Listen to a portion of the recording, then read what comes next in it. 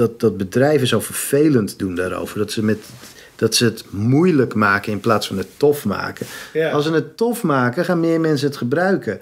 Nu doen ze moeilijk. Hetzelfde met DRM, Digital Rights Management voor boeken. Daar las ik gisteren een mooi artikel over van eh, op Alistair Part. Wat gaat over. ehm, eh, een, di- een van de dingen die hij daarin noemt is: we hebben eh, als het makkelijker is en nuttiger is om een eh, papieren boek te kopen, Ja. dan heeft het huidige e-book beleid gefaald. En dat is nu zo. Ja, Mensen kopen liever een papieren boek omdat het makkelijker is. dat is wat ons, eh, hoe heet het, Europese vertegenwoordiging ook eh, aangaf, toch? Ja. Heet ze ook weer? Edi Dancona? Ja, nee, niet. Nee. Nee. oh jongens, het lijkt er een beetje op. Of ook, eh, misschien helemaal niet. Nee. Eh enfin. Maar die, die, eh, die gaf dat ook aan. Die zei zo, van, eh, dat ging dan over bela- belastingheffing of iets dergelijks. Dat de BTW op een normaal boek la- vele malen lager was Oh ja. dan op een, op een e-book. Dat is een van de Waardoor een issues. e-book letterlijk duurder was dan een fysiek boek. Ja. En ik had vanochtend een discussie hier over e-books met Katrien, mijn vrouw. Ja. En zij vroeg, maar zo'n e-book, kan je dat dan niet gewoon kopiëren? En aan iemand anders geven? Ik ja, natuurlijk. ja, Nou en? kan je ook met een normaal En toen- boek doen. Ja, je kan het. Kan weggeven. Normaal boek kan je ook weggeven. Dus dat probleem, dat was er altijd. al. Dat is helemaal niet veranderd. Nee. Of als je het als een probleem ziet. Je kan ook zeggen, het wordt aan iemand anders gegeven. Dan kennen twee mensen jouw werk in plaats van één. Ja, precies. En als het niet kan, dan kent maar één mens jouw werk. ja. En de, een ander argument is natuurlijk... er worden miljoenen uitgegeven aan het voorkomen van dit soort dingen. Dus er worden hele... Dus ik kan bijvoorbeeld... Ik kan in een week kan ik een mooi vormgegeven e-book maken. ja. Dat Dan kan ik in-. Ja. Heel mooi, gaat niet lukken. Maar ik ben, ik ben nu inderdaad bezig. Nuttig e-book. Ja, dan kan je een e-book maken. Of nou, in, ik heb nu twee dagen eraan gewerkt en nu is het aardig. En ik denk als ik een week eraan werk, dan kan ik echt iets moois maken. Ja. Eh, dus in een week moet dat kunnen, als je echt je best doet. Misschien twee weken, maar Allah, laten we er één week van maken. Ja. Als ik nu wil dat, dat, eh, dat het moeilijk is om dat te kopiëren, Ja. dan ben ik waarschijnlijk wel twee maanden bezig. Ja, precies. Ja. En in die twee maanden- ev- Eventuele dingen moet je dan Ja. erin zien te bakken. Ja, en in die twee maanden kan ik ook acht boeken uitgeven. Ja, inderdaad. Ja. In plaats van me bezighouden met het zorgen dat me- mensen het zo moeilijk mogelijk kunnen lezen. Want dat is eigenlijk wat je doet. Hè? Ja. En ehm, Maar, maar het ding wat in een boek zit, dat zit, is voornamelijk een hele lange proces wat ervoor zit. Hè? ja, Dus, dus het schrijven, dat is, dat, daar zit de moeite in. Dat, Ja. En het opmaken en redigeren. En ja, dat zijn de dingen waar men, waarvan mensen Ja. zeggen van... Ja, maar dit, dit is niet het product van het typen, maar dit is een product van al de periode die daarvoor zit. Tuurlijk. Dat wil ik, ik wil heel graag hier ge- mijn geld mee verdienen. ja, En dat is een beetje net als in de platenindustrie. Die zeggen ook Ja. zo van, ja, we willen met onze muziek geld verdienen. En vooral studioartiesten die zeggen van, en elektronische artiesten. Ja, wij, maar wij willen dit maken. We willen niet optreden, want ja. eh, we willen niet de boekentour doen. Want dat is een.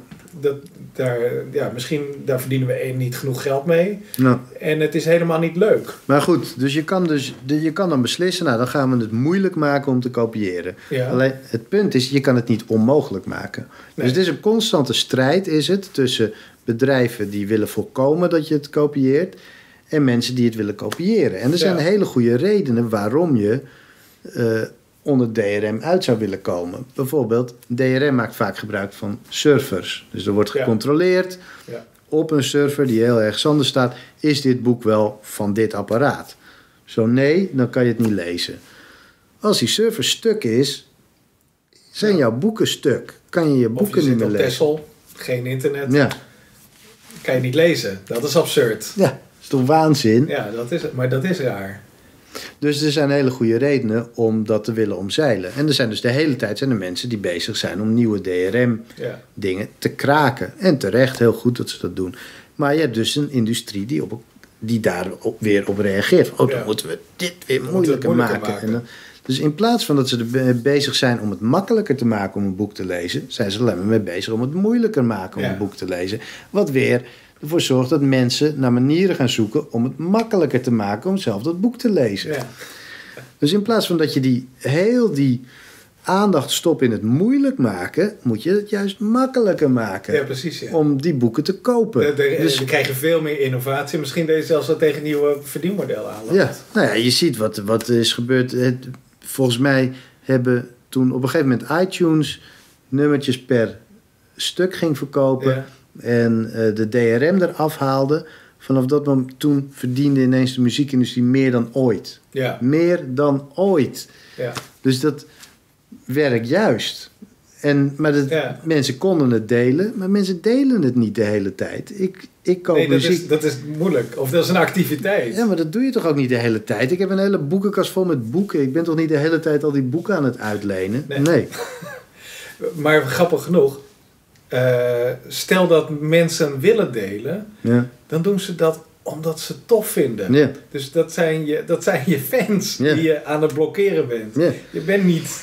eh, Ja, je bent eh, naamsbekendheid ook aan het Je bent maken. geen criminelen aan het blokkeren. Hm. Nou, misschien ook en passant, maar dat is misschien een pro Ja. procent of een promiel van alle fans die het onmogelijk maakt om je product te eh, consumeren. Maar het is natuurlijk ook, komt het denk ik door het idee van niet dat we geld moeten verdienen met dit soort dingen, maar dat we rijk moeten worden van dit soort dingen. Er is een, een soort van Oh, bedoelt- American ja, ja, Dream ja, waarbij muzikanten die, die willen niet leven van hun muziek, Nee. die dromen ervan om superrijk te worden van de muziek. Er is een, een beeld geschapen van rocksterren die superrijk zijn en dat is, dat is het doel. Niet, het doel is niet muziek maken en er lekker van leven. Ja, Nee, het doel is eventjes muziek maken en superrijk worden. ja, dat is het doel. Ja. Wat wil je bereiken? Ik wil een hele tijd niks doen en in luxe eh Ja, door dus, dus, dus niet, Ja, ik wil, toffe muziek maken. ik wil gelezen worden en daarvan kunnen leven. Nee, ik wil heel succesvol daarmee. Zodat Heel, ik nooit meer hoef te schrijven. ja, of dat ik heel rijk word. Weet je, Ja.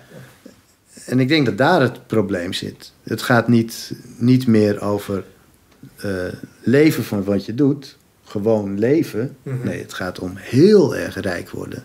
ja. En dat is een. d- Daar, da- daardoor worden mensen, nou ja, greedy natuurlijk. En dan krijg je, Ja, gaan mensen vervelend doen. Ja, precies. Ja. Ja. dan gaan mensen eh, advocaten inhuren en mar- marketen. En, En om die te kunnen betalen, moet je meer vragen voor je product. ja, ja. inderdaad. Ja. Oh, God, we zitten in een visueuze cirkel. Ja. Maar ja. wat moeten we hiermee? Ik weet het niet. Nog meer wasstraten maken.